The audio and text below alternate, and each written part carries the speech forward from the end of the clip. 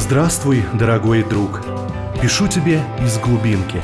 Здесь время течет не так, как в городе. У вас пролетел год, а у нас неторопливо прополз лишь день. Люди здесь говорят, используя не логику, а эмоции. Словом, все иное, все другое. Послушай-ка, какую историю я поведаю тебе сегодня.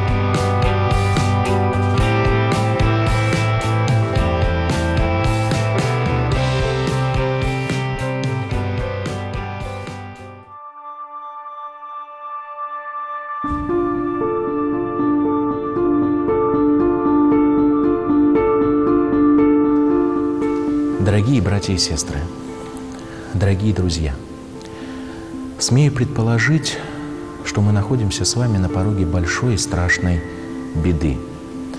Речь идет об распространении инфекционного заболевания COVID-19, который, к сожалению, на сегодняшний день победоносно шагает как по всему миру, так и по нашей стране в частности. Каждый из вас мне по-своему дорог. Вы – мои прихожане – моя паства, мои друзья. Со многими из вас я неоднократно разделял и горечь утрат, и радость побед. И поэтому мне хотелось бы обратиться к вам с убедительной просьбой. Призываю вас проявить ответственность, проявить солидарность в общем деле, направленном на борьбу с инфекцией. Давайте сорганизуемся. Давайте постараемся максимально ограничить свои контакты с другими людьми. Возможно, это будет самым большим, значимым делом в победе над болезнью. Мы любим своих родных и близких, мы переживаем за них. И здесь своими действиями мы можем внести большой вклад в общую победу над угрозой.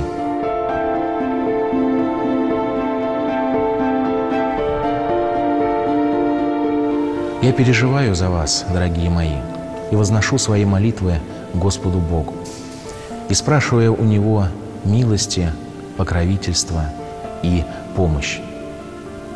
Дай Бог, чтобы эта болезнь, которая сегодня способна посетить каждую семью, каждый дом – обошла нас стороной. Но чтобы это произошло, чтобы это случилось, нам необходимо действовать. И пускай Господь будет нам в этом добрым и славным помощником. Храни всех Бог.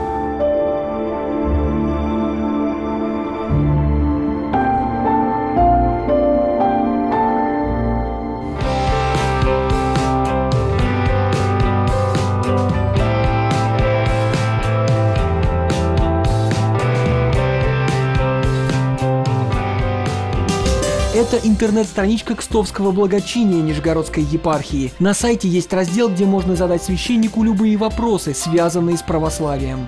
Например, Наталья спрашивает, в чем справедливость, если достаточно покаяться и совершенное тобой зло будет прощено? Дорогие друзья, а, этот э, вопрос э, вызывает улыбку и носит в себе, ну, признаемся честно, долю лукавства. Есть такая поговорка – если не согрешишь, то не покаешься. А если не покаешься, то не спасешься. По логике, чтобы спастись, нужно согрешить? Нет, все не так. Дело в том, что грех – это единомоментное нарушение закона. Закона Божьего, закона мироустроения, если хотите. Это не нарушение правил дорожного движения, это не нарушение этикета. Это нарушение Богом устроенного закона. Но он моментен. Что ведет к греху? К греху ведет человеческая воля. Ведь нас никто не заставляет совершать грех. Нас никто не заставляет оскорблять человека. Мы это делаем сами. Возбужденные раздраженным сердцем или гневным, когда ругаемся с ближними, когда не хотим уступать. Но кто заставляет нас высказывать бранные слова, к примеру? Мы и только мы. Мы согласны сказать это слово, и мы его воспроизводим. Мы обижаем сознательно человека. Сознательно. используя бранные, обидные слова. Грех в том, что мы произнесли слово и обидели. Но та цепочка, которая продела этот грех, она показывает, насколько испорчено наше естество. Ибо от сердца исходят помышления и слова человеческие. Это в первую очередь показатель нашего уязвленного раздражением и гневом сердца. Я разбираю один грех как пример. Так вот, мало того, что появившись на свет, грех совершается, он еще несет за собой и последствия. Ибо человек, ни разу не бронившийся в жизни – и не знает, что такое брань. Человек, ни разу не обманывавший, не знает, что такое обман. Человек, не впадавший в гнев, чужд гнева. Когда мы совершаем грех, мы открываем для себя возможность повторения этого греха. Мы как бы влагаем ложку дегтя в бочку с медом, запускаем зло в свою душу. А сколько грехов мы совершаем на протяжении одного дня, а недели, а месяца по отношению к другим людям. Сколько зла мы запускаем в себя. И вот это зло, оно ведь из нас никуда не девается. Оно остается внутри, оно пытается сжиться с нами. Каждый раз, совершая грех, мы делаемся злее.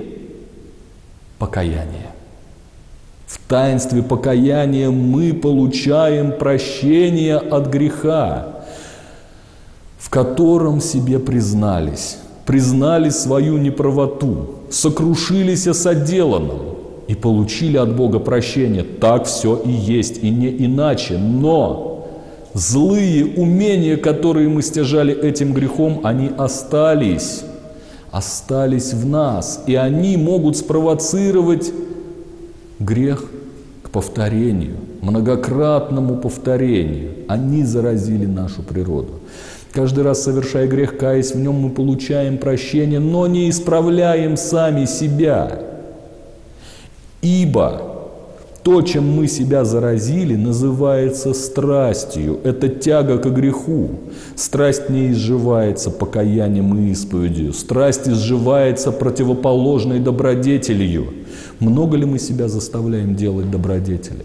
Нет, немного. Поэтому даже когда мы с вами исповедуемся – даже когда мы получаем разрешение от греха, но не меняем при этом своего сердечного настроя, не расчищаем внутреннюю тьму и не избавляемся от внутренней злобы, мы мало что меняем в своей жизни. Бог не будет считать, сколько мы совершили грехов. «Сыне, дай мне твое сердце», так сказано в Писании.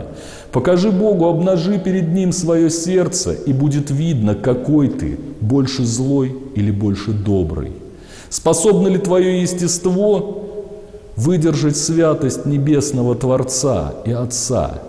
Или же по грехам своим оно будет чуждо Ему и будет отторгнуто от Него? Мало простить грех, надо еще исправить его последствия. И вот для этого, дорогие братья и сестры, мы с вами должны вести жизнь праведную. Мы должны исправлять пути свои. С путей зла на пути добра и на пути истины. Мы должны смотреть не в ту сторону, где дьявол и соблазн, а в ту сторону, где, может быть, себя в чем-то надо удержать или ограничить, в ту сторону, где есть Господь, ожидающий нас. И вам, и себе, с вашего позволения, я желаю смотреть почаще в сторону Бога и поболее идти к Нему. Спасибо.